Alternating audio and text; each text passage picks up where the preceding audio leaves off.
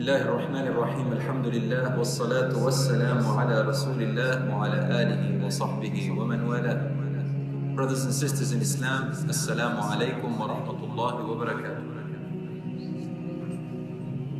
And where I left off was after the death of the Prophet sallallahu alaihi wasallam's uncle Abu Talib, who was protecting him up to this point.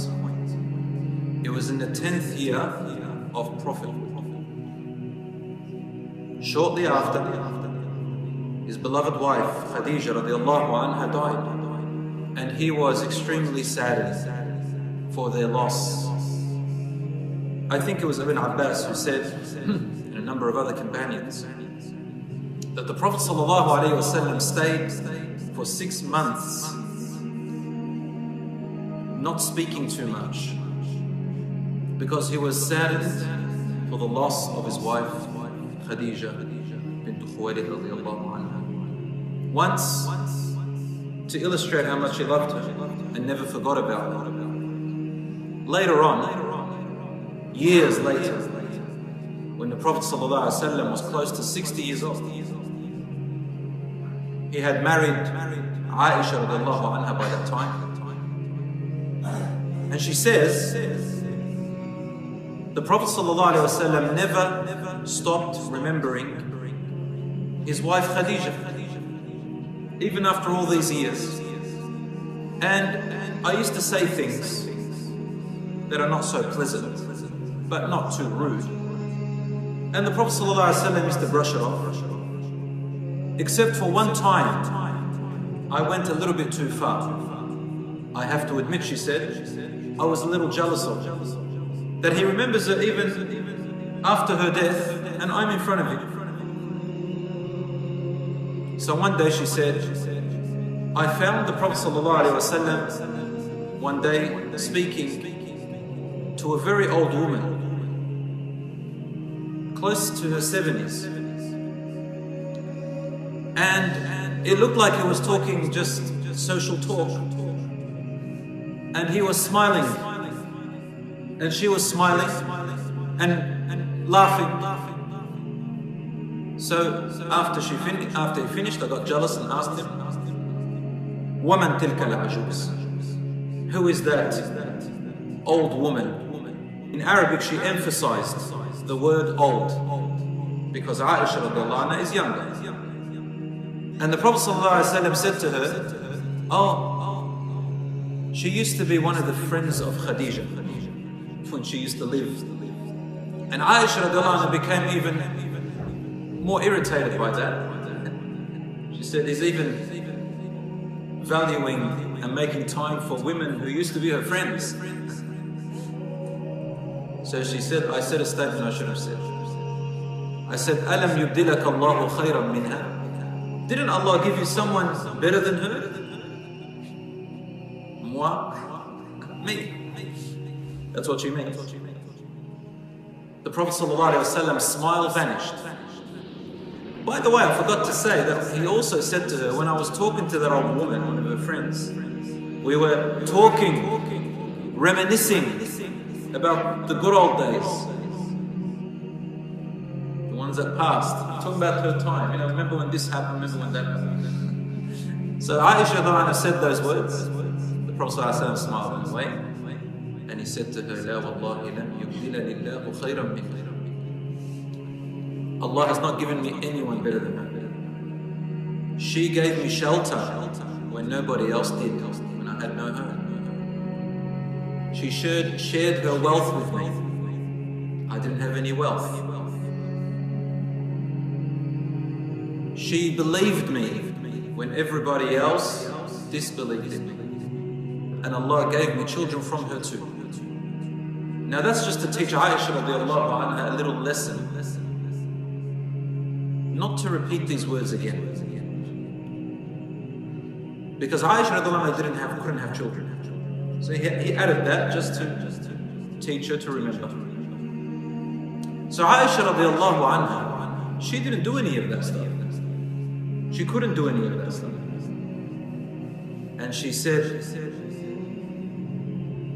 Ask Allah to forgive me, Ya Rasulullah. I will never say that ever again. She said, After that day, I never said a word about Khadija.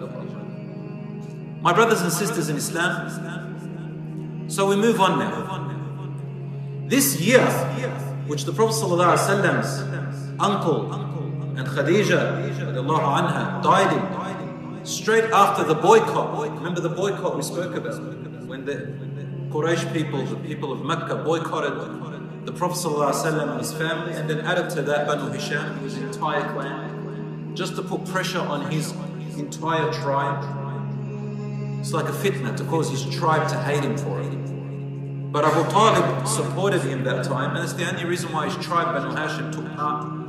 And they were isolated for two years, not allowed to eat from their food or share with their trades or marry from their women or visit from them or socialize with them or anything at all. They were basically as if they don't exist.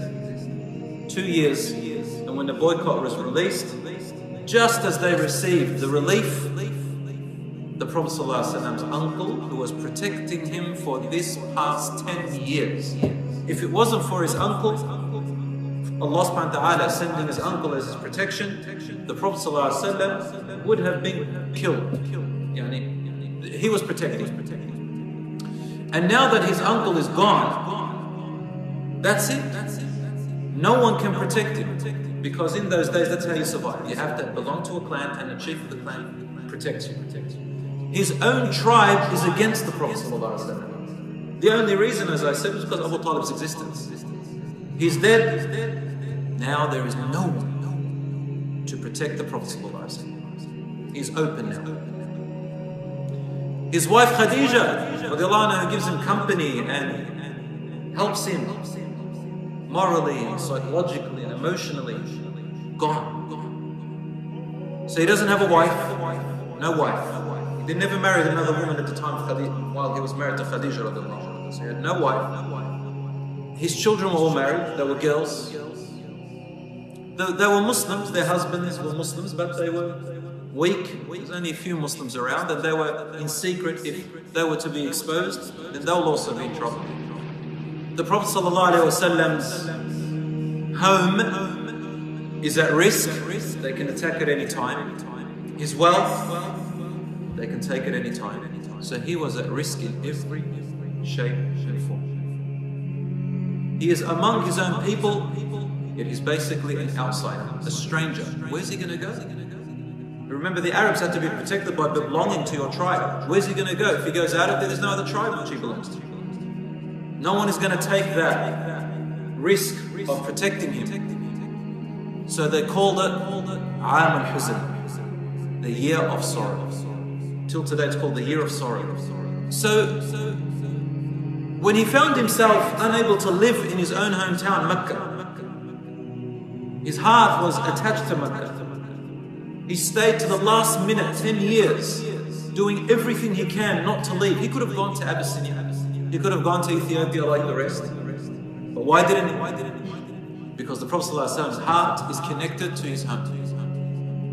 Rasul stayed there for 10 years.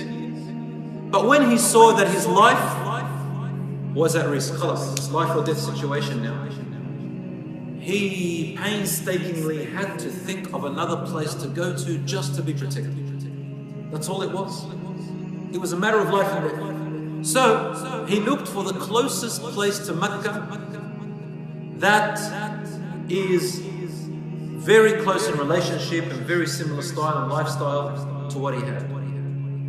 So the closest place was a place called Al-Ta'if. What is it called?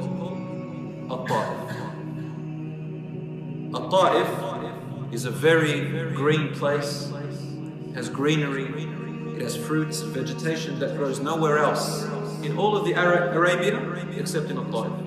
There are fruits and vegetations there that you can't find in Mecca or Medina or anywhere else. And even till today, it's considered a place of tourism for a lot of the Arabs. They go there in the summer, they sit there, and it's a really nice, beautiful place, a resort. In there, there was a tribe called Banu Thaqif. This tribe, Banu Thaqif, was very close in pride and importance as the people of Makkah, as, as Quraysh, they were very important, they were very valuable. And they had a god which they worshipped, their ultimate god was called Alat. It was a love hate relationship. Even someone there had married the distant uncle or auntie, sorry, of the Prophet ﷺ in a Taif. So there was some relationship. So he thought maybe I can go there and these people will welcome me or at least give me some safe haven. So he went to a Taif. When he reached there, he had sent news with uh, someone to meet with three particular brothers. They were chieftains of that place. They had a say. And, they agreed to meet him. So when he got there, he met with them and he spoke to them about his mission as a prophet. He gave them a little bit of da'wah, not too much, and told them you're free to accept or refuse. What did they do? They had heard about his situation, and instead of welcoming him, they were the most vile and bitter to the Prophet. This is all in the same year of his sorrow. Calamities upon calamities. They said foul words to him. The first one said, Well, if you're a messenger of God, I might as well rip the curtains of the Kaaba off sarcastically says, I don't have any belief. I won't accept you. The second one says, out of all people, couldn't Allah choose anyone else but you? The third one said, if you are a, truly a prophet, then you are too holy for me to talk to you. And if you are not a prophet, then my dignity is too high than for you to talk to me. Just sarcastic, stupid words. So the Prophet ﷺ felt, okay, this is another threat. He's, he's in trouble over there too. So the best thing he said to them was, look, if you're not going to accept, then I ask you for one thing. Please do not tell Quraysh that I came here. And they respected that. Said, okay. And truly, they didn't tell Quraysh that he had gone there. Who was he there with? He took only one man with him. His then adopted son, Zayd ibn Harith. And he chose to walk there. He did not choose to go on a horse or a camel. It's a strategy because then he didn't he didn't want people to know. He didn't want to you know make it public. He went in private. It takes you about one and a half hours in a car to reach from Mecca to Taif. But it took them about a day or a day and a half to reach there, walking deserts, hills, valleys. Also, that the Prophet ﷺ is not known to have traveled. So, what happened next is the Prophet ﷺ was refused and rejected. He gave some da'wah. He gave some da'wah to the people in the market. It seemed like some people were accepting Islam, but the majority of them weren't, especially the chieftains. They wanted to stop this. So they got scared and they wanted to cause a big problem for the Prophet. Yes, they didn't tell Quraysh, but they went into the city and they started to round up thugs and louts and people, children, women, men, all these people who like to make trouble. They convinced the children to come up and the women and those thuggish men, all with rocks. They trapped the Prophet ﷺ and Zayd in the middle between two rows, one on each side, so that the Prophet ﷺ can't run away. He goes right, he's stuck, goes left, he's stuck bullies, you know, it's worst of situations. And you had kids and women and men throwing rocks at them and being vile to them. Zayd radiallahu tried to protect the Prophet but he was smashed everywhere, blood from head to toe. And the Prophet Prophet's blood seeped from all parts of his body until it reached his toes. His blood was between his toes and in his leg. Severely injured. So far, a boycott. Uncle dies, wife dies, no home, no money, no family, nowhere to go, and his life is at risk. No protection. Only the clothes he is wearing. No mount, no horse, no camel, nothing, no food. Can't get any worse than that. It was so bad that Aisha radiallahu anha later on, she wasn't, she didn't live at the time of the Ta'if when this happened. So she just asked the Prophet once, has there ever been a tougher time on you, Ya Rasulullah, than Uhud? The Battle of Uhud was very tough. We're going to talk about that weeks to come, inshallah. Was there any rougher time than Uhud? And he said, in very simple words, just briefly, he didn't go into detail to Aisha anha. He said, Yes, from your people, meaning the Arabs, in a Ta'if, I spoke to three of their men and they rejected me and said words that were hurtful. So I had to leave.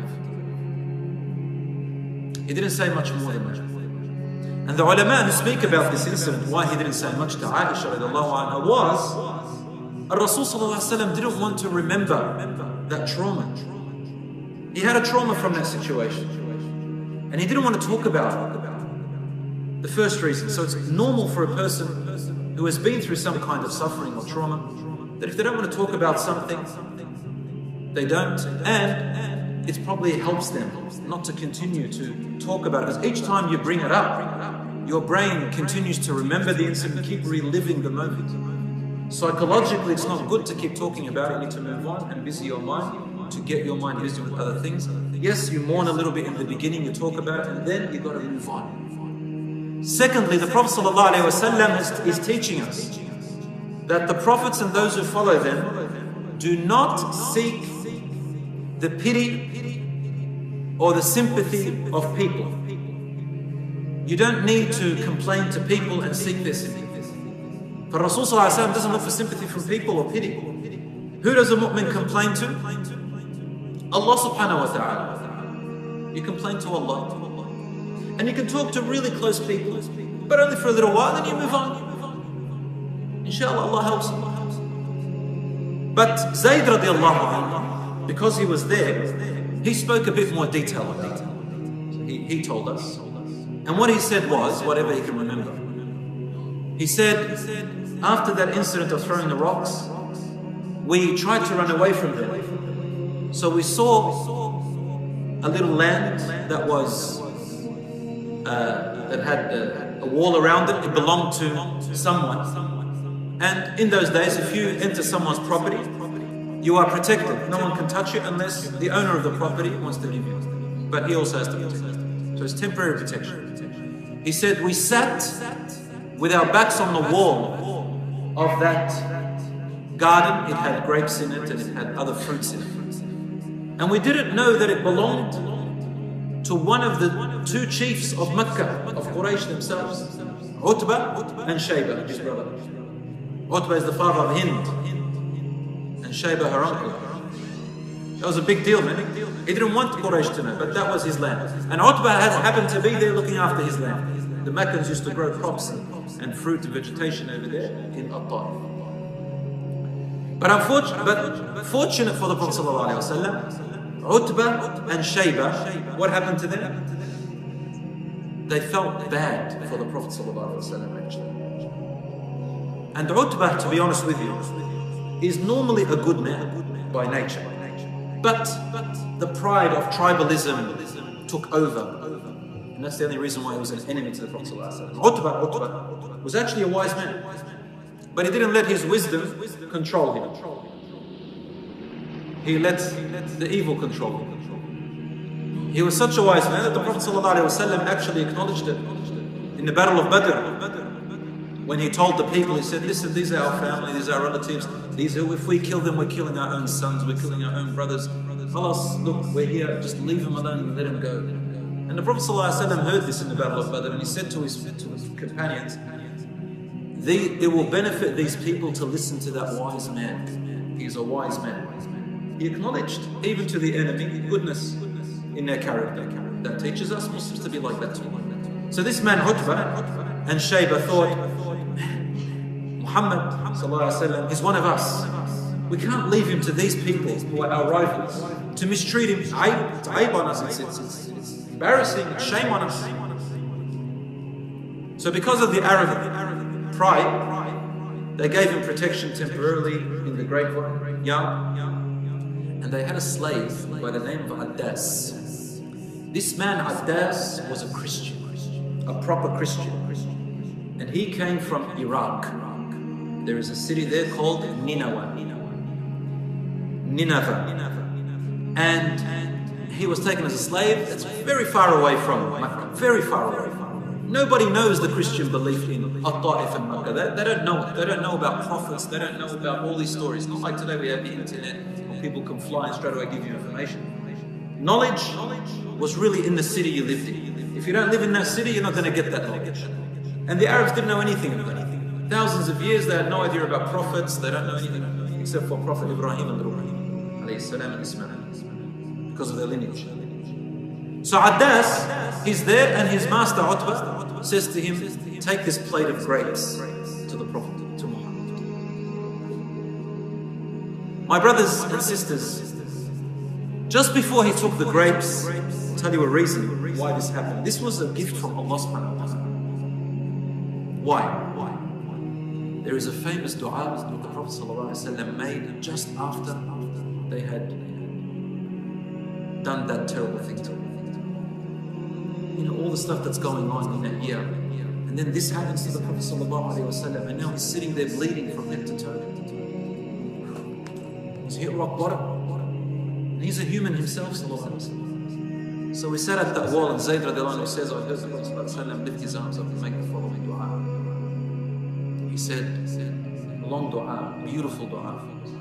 I'll say part of it. He said, Oh Allah, إلى من تكلني who have you left me to? إلى بعيد يتجهمني To a stranger who ridicules me. إلى قريب ملكته أمري Or to a family member who's supposed to be my support, but instead he controls my life now, my life and death. And then he said, Oh Allah, إن لم يكن منك غضب علي فلا أبالي. Oh Allah, if you're not angry with me, if you're not angry with me, then it doesn't matter. All of this, we'll forget about it. I don't, I don't care. It's as if the Prophet ﷺ is saying, like what a normal human would say, Ya Allah, I don't understand. Are you angry with me? Have I done something? What have I done? Ya Allah. He's pleading to Allah subhanahu wa ta'ala. He's, he's, he's crying to Allah subhanahu wa ta'ala like a little child cries to her, his or her mother or father. They just want their love. Have I done anything to hurt you? Have I done anything to anger you? And then the Prophet ﷺ said, لَكَ الْعُتْبَى حَتَّى تَرْضَى You have the right, my Lord, to, to reprimand me and say anything you want. Tell me off. As long, as much as you want, oh, oh Allah, I accept it until you are pleased. I will accept it so long as at the end of it you are pleased with me. I just want your pleasure. I just want your pleasure. And he said, وَلَكِنْ عَافِيَتُكَ أَوْسَعُ But your ease for me is more beloved. This shows us we are allowed as Muslims when you make dua to ask Allah, say, Ya Rabb, look, I, I, don't, I don't care about all these calamities so long as you are happy with me, but if you make it easy for me, take the difficulty away from me, that is it, that's more beloved to me, Ya Allah nothing wrong with asking Allah. There's nothing wrong with complaining. Only Allah is the one that we should complain like this to. Now, brothers and sisters, don't get this wrong. There's two ways to complain to Allah. One is kufr, the other one is tawheed. The kufr one is when you call, when you when you blame Allah subhanahu wa ta'ala for what has happened to you. And you question him in a way that is arrogant. You don't accept this. Like when a person says, Why me? Out of all people, why have you done this? What have I done to you, Ya Allah? I don't accept this, like what Iblis used to say. He said, See this one that you have made better than me? It's your fault. It's Allah's fault. This is haram, this is kufr. But when you say, Oh Allah, have I done something? Have I angered you? Oh Allah, I complain to you my worries, my sorrows. To make things easy on me is, is, is more would be better for me. Cry to Allah like a baby. Only Him. This is what a mu'min and a strong person does.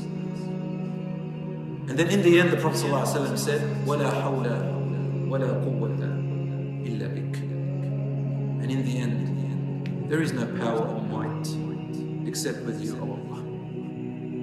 Meaning, meaning, nothing can happen to me without your permission, O Allah, and I know this. I am in your hands. I am in your hands. As soon as he finished this dua, Addas comes along with a plate of grapes. It's not Addas, it's not Utbah, it's not Shayba, it's none of these people. Who is the one that's bringing him the plate of grapes? He's Allah subhanahu wa ta'ala. The dua gets answered immediately, but in ways that you don't expect.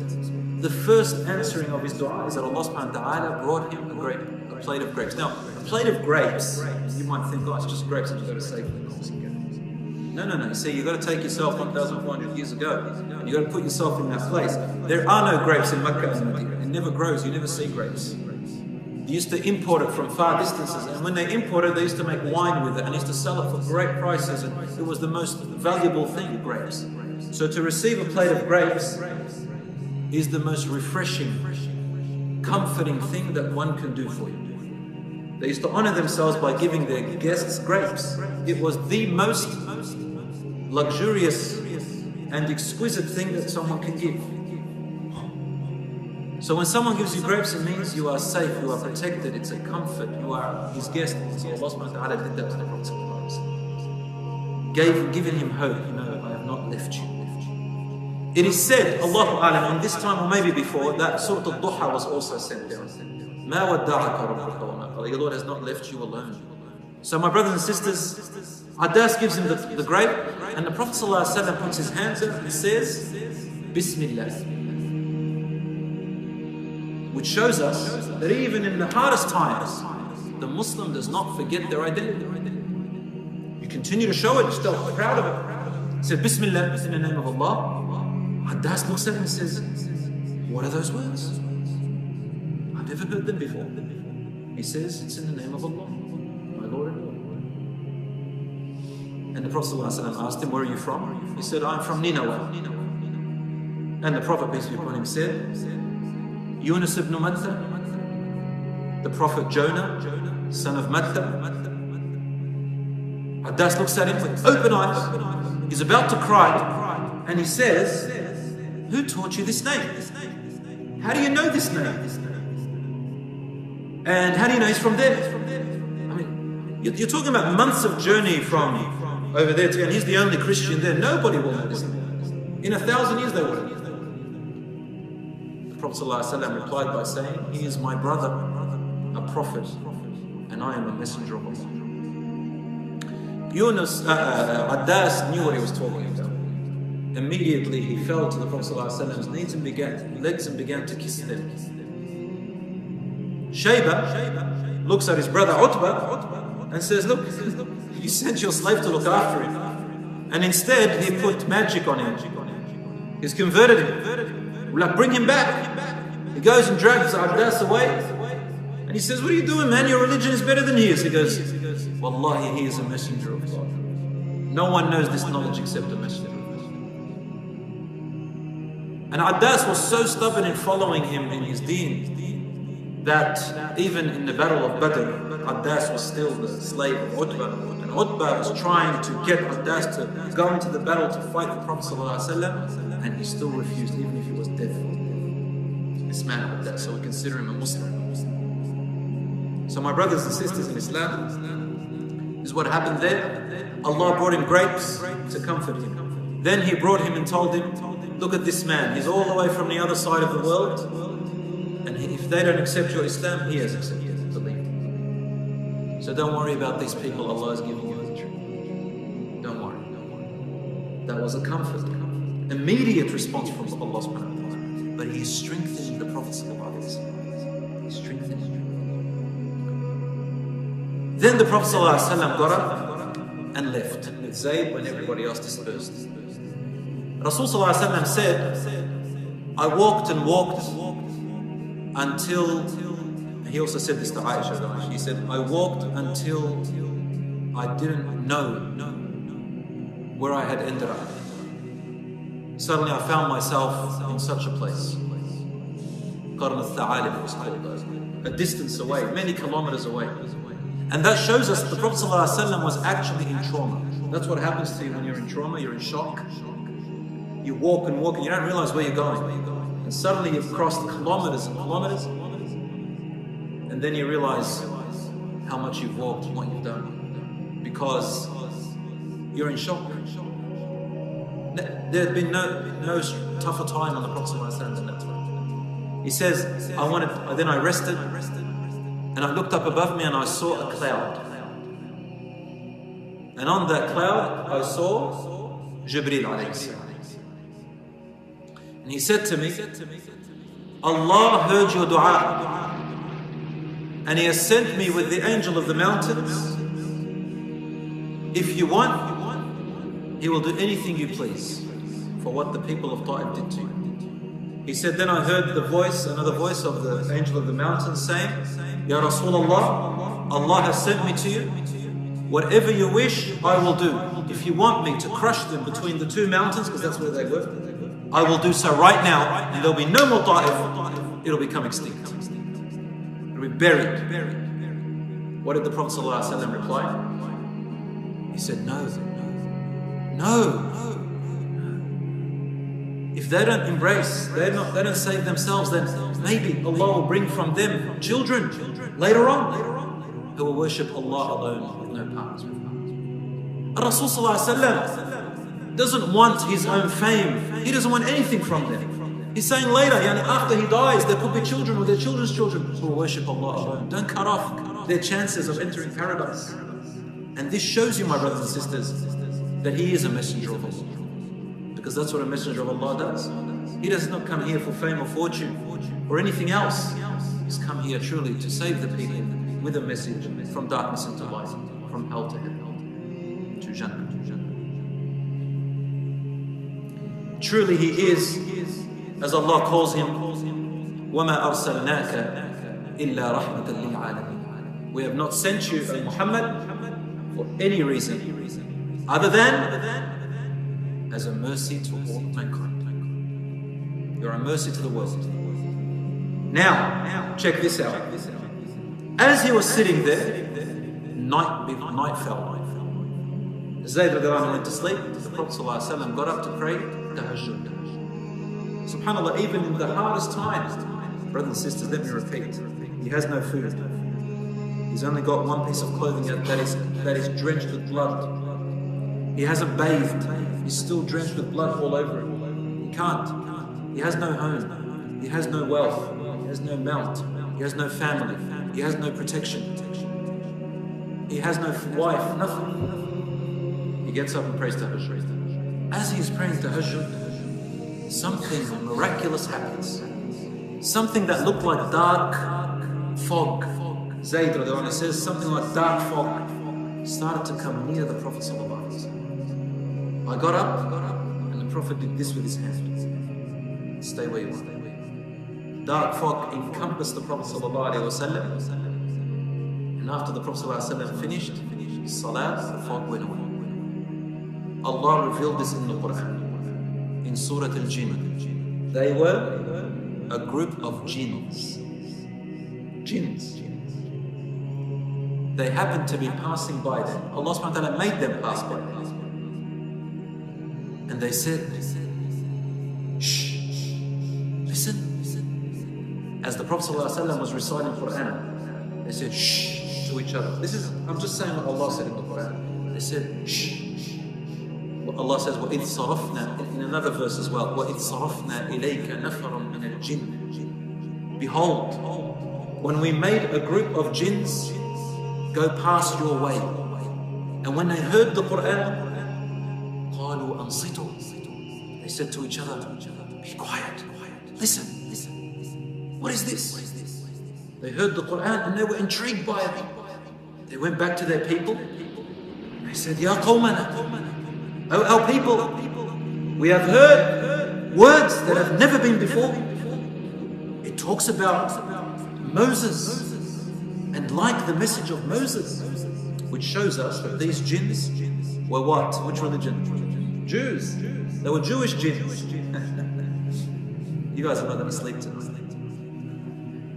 I'm going to scare you. No, I'm not going to scare you. Jinns, my brothers and sisters, There are, they're like us in, a sense that they have civilizations, they have nations, they have tribes, they are male and female, they have uh, culture, they uh, have uh, uh, uh different colors and shapes and languages, different religions. And Allah mentions them in the Quran. وَمَا خَلَقْتُ الْجِنَّ وَالْإِنسَ إِلَّا لِيَعْبُدُونَ I have not created the jinn and the humans for any other purpose except to worship me. So the jinns are also created to worship and they are being tested. That they were here before us. And then Allah created the humans. Then they were ordered to pray and worship and fast like us. Now, the Prophet ﷺ, Muhammad ﷺ, was the only one sent to the entire world, which includes the jinns. And they said, we have heard the Quran أنزل من بعد موسى مصدقا لما بين يديه. He is talking about stuff that Moses used to speak about and it confirms it. And then they started to preach to their people, to their jinns, to follow this message.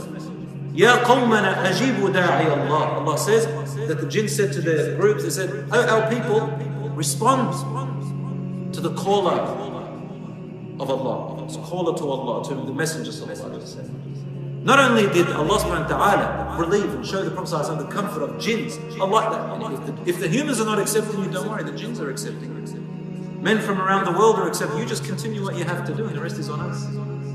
Here are jinns now. What do you think of that? A life form you they can't even see. And not only did they believe in the Prophet but they also went to become messengers from the Messenger to them. Now the jinns are being called to Islam and saved from the fire. Allahu Akbar. The, the, there are other instances where the Prophet ﷺ gave da'wah to the jinns, at least two other instances. Another one is a time when Abdullah ibn Abbas, uh, Abdullah ibn Mas'ud himself, he says, one time the Prophet ﷺ stood up and he said, Who would like to come with me to give da'wah to the jinns? Now the companions, this is all new to you, like I saw some of your faces go pale. They said, no, not, not us. rather not go. But Abdullah ibn Abbas said, I summoned some courage. I was the youngest. You know, children, they like adventure. You tell them, hey, something's scary. They get scared, but they still want to go. So that he goes, I want to go. He said, all right, come. No one else volunteered. You don't blame him. So he went, he said, he went to this near mountain. And uh, Abdullah ibn Abbas says, the Prophet told me to sit near a tree. And told me not to move. So the Prophet, peace be upon him, went he stood up praying, and then I saw black fog coming towards the Prophet. I, I didn't move. And then suddenly he vanished. Prophet I couldn't see him. They were surrounding him and he couldn't be seen. After he finished, Abdullah ibn Abbas, uh, ibn Mas'ud, saw the Prophet ﷺ, he goes, Ya Rasulullah, where were you? You vanished, I was looking for you. He said, don't worry, these were the jinns. Allah sent them to give them da'wah, and I was teaching them about the deen. In another narration, in Sahih Muslim as well, the companions one day got up and they, and they said, the Prophet ﷺ vanished. We didn't know where he went. So we thought maybe he was killed, someone had abducted him. We kept looking all day until the night. And then the Prophet ﷺ arrived he says, Where were you, Rasulullah? He said, I was giving da'wah to the jinns. And if you want, I can come and show you their remnants, what I left, what they left behind. They went and he showed them some tents. He showed them some fire that they had lit up and it was extinguished. He also said, Abdullah ibn Mas'ud said that I saw the Prophet bring some bones, bones and some uh, camel manure camel poo. And he said, this, when the jinns embraced Islam, they said, Ya Rasulullah, what are we allowed to eat? Because there's halal and haram food, just like we're not allowed to eat pig, pork, for example, drink alcohol. Listen, what can we eat? And the Prophet said, the remaining food of Muslims, you eat and there's stuff that you throw out, not, not real food, like you're not supposed to waste food, but the stuff that we can't eat the jinns eat. For example, bones. The jinns eat bones. We can't eat bones. Isn't that correct? So he brought him some bones and he said, This is food for the jinns and also the, the rubbish that you throw out from your food. The, the, the remainder of the Muslims, it becomes the food of the jinns. And he also said to them, and the manure of our animals becomes the food of your animals. Which means that the jinns also have animals, livestock, just like us. Okay? Okay. I won't tell you more than that. Inshallah, I want you to sleep tonight that these are jinns who are Muslim and they're good people. My brothers and sisters in Islam, so that's something that happened with the Prophet. Uh, then, then he said, We arrived back in Makkah. And Zayd anhu, he says, He's got no protection. So before we entered Makkah, the Prophet ﷺ tried his best to seek refuge with someone. He sent, he sent some, he sent a message to a few of the chiefs, asking them to give him protection. Because remember, I remind you, the Arabs, if someone gave someone protection, no one's allowed to touch him. This was the law, the, the custom of the Arabs. And whoever touches someone that a clan has protected, then their tribe is humiliated forever. So they didn't want that. But unfortunately, subhanAllah, each chief of Mecca which he sent a message to to protect him, they rejected him. He even sent to a man called Al-Akhnas, who later on became Muslim. He sent to Suhail ibn Amr, who later on became Muslim. But you can see the Prophet ﷺ sending to people who he knows they have some goodness in them. And they responded with respect, politely, we can't protect you just can't do it. But finally, there was one of the chiefs, his name was Mut'im ibn Adi. Remember, we talked about him before in classes that have passed. Mut'im ibn Adi, uh, Mut'im ibn Adi did not become Muslim. But he was a good man with great wisdom, and he, and he had really good character, even though he was not a Muslim. He was the only one that offered or accepted to give the Prophet ﷺ protection, including his family. So he said to him, Come to the Kaaba. He came and met him there, and he said, You do your tawaf and come and talk to him. So the Prophet ﷺ did tawaf, and Mut'im said to his sons, Take your weapons, put them there, and cover it. If you cover your weapons, it means that you're not there to fight, but you're there to protect. It. And go around them.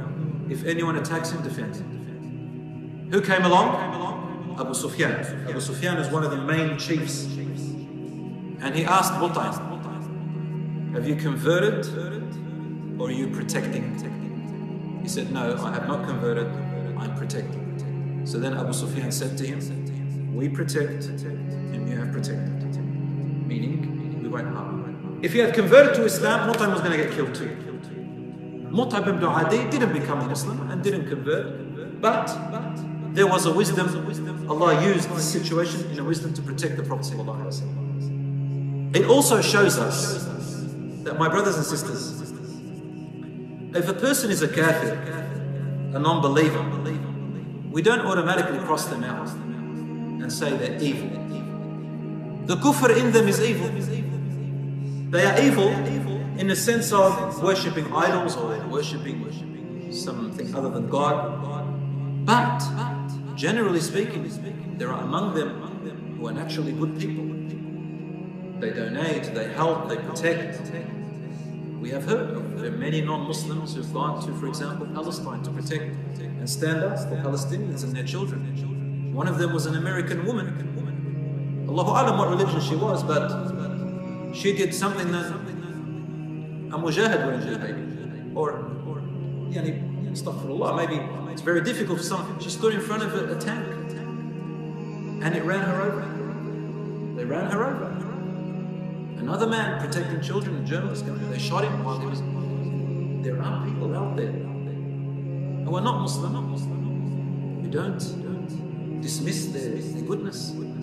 For this man Mut'im, to give you evidence, when Mut'im ibn Adi died, he died a disbeliever. And when the Prophet ﷺ went to Medina later on, and after the Battle of Badr, they took the captives, remember, the, prisoners? The Prophet ﷺ made a statement in support and honor of this man Mut'im, knowing that he had died a disbeliever with the enemies. He said, if Mut'im ibn Adi was still alive today and requested of me to release all these captives, I would have released them just upon his sole request. So the Prophet ﷺ honored him. Till today, Mut'im ibn Adi is honored for this, the words of the Prophet ﷺ. My brothers and sisters in Islam, so the Prophet ﷺ was protected for a further approximately two years before he died, Mut'im ibn Adi died And the protection was gone after close to two years. During that time, the Prophet ﷺ was taken on a journey of Isra and Mi'raj. جزاكم الله خير والسلام عليكم صلى الله على نبينا محمد وعلى اله وصحبه اجمعين والسلام عليكم ورحمه الله